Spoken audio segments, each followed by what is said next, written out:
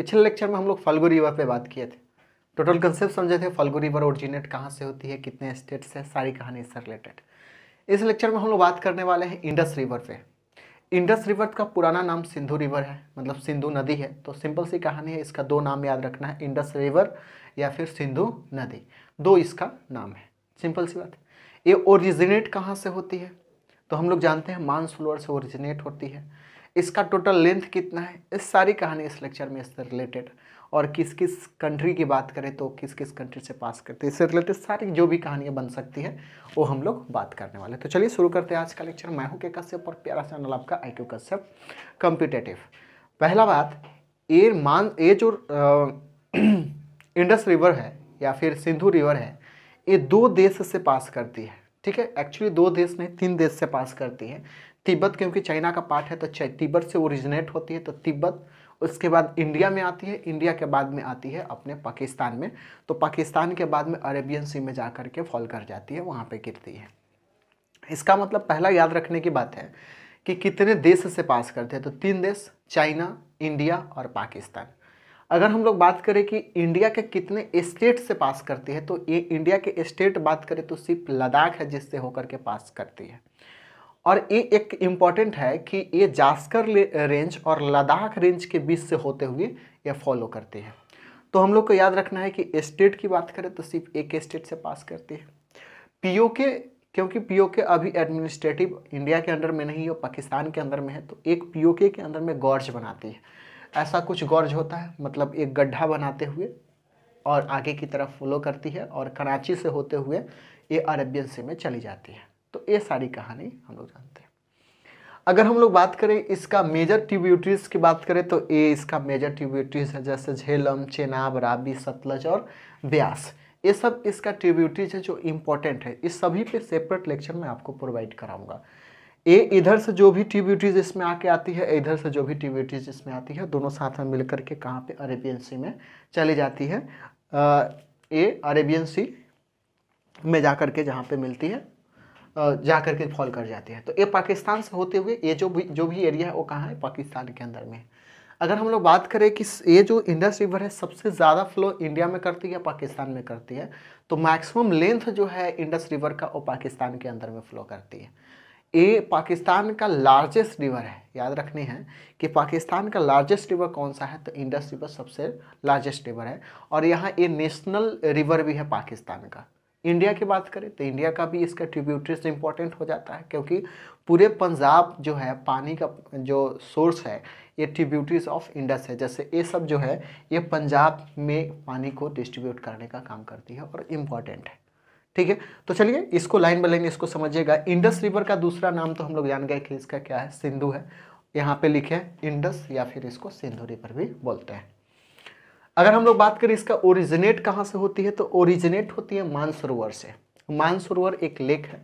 मानसरोवर मानसरोवर से ये ओरिजिनेट होती है। और याद रखना है, मानसरोवर से जहाँ से ओरिजिनेट होती है, एक ग्लेशियर से ओरिजिनेट होती है। उस ग्लेशियर का नाम है ग्लेशियर ऑफ़ कैलाश तो एक ग्लेशियर ऑफ़ कैलाश है तो एक कैलाश रेंज भी है जहाँ से एक ग्लेशियर है, इसका नाम भी क्या है? ग्लेशियर ऑफ़ कैलाश जहाँ से ओरिजिनेट होती है।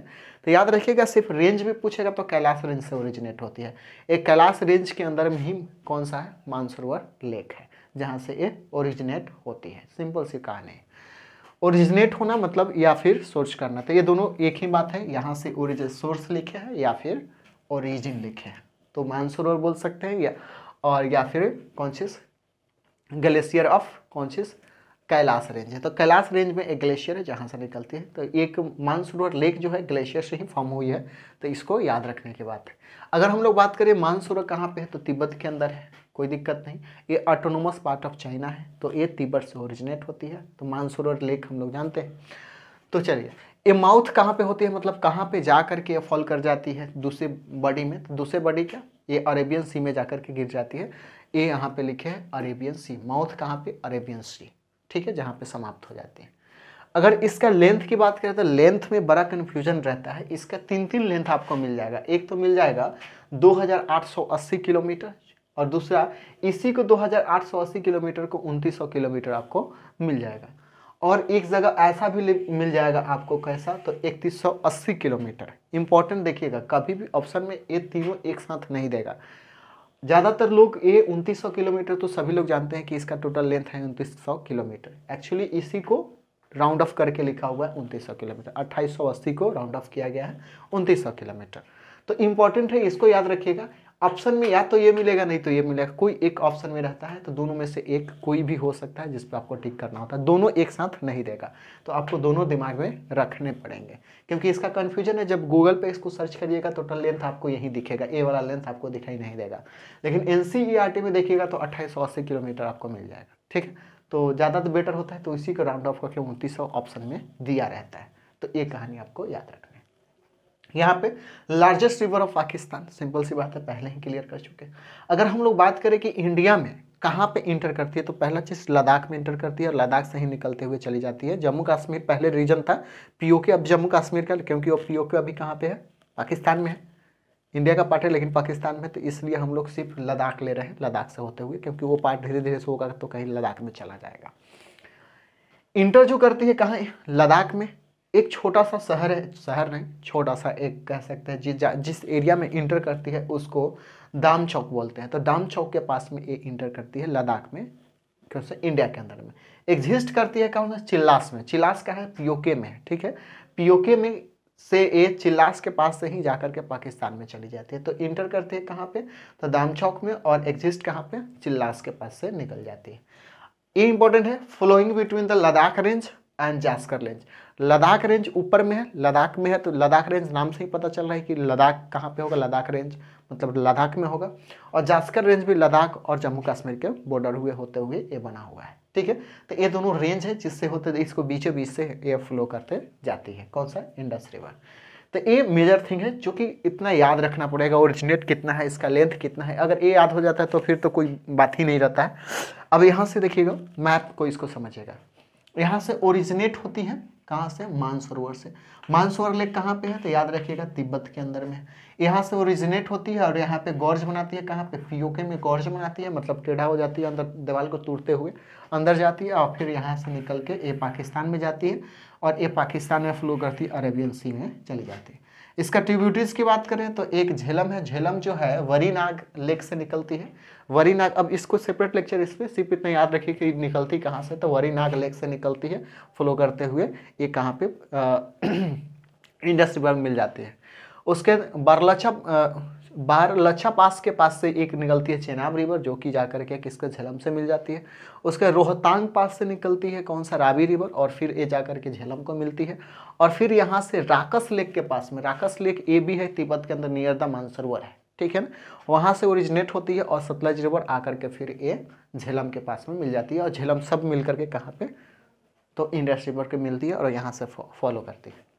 अगर हम लोग बात करें कि इंडिया के अंदर सिर्फ़ कितना किलोमीटर का लेंथ इंडस का फॉलो करती है तो याद रखिएगा 200 अगर हम लोग 2880 किलोमीटर अगर ले रहे हैं तो इसके अकॉर्डिंग 1100 याद रखिएगा, लगभग 1112 किलोमीटर के आसपास जो है, ये लेंथ सिर्फ़ इंडिया में फ्लो करती है।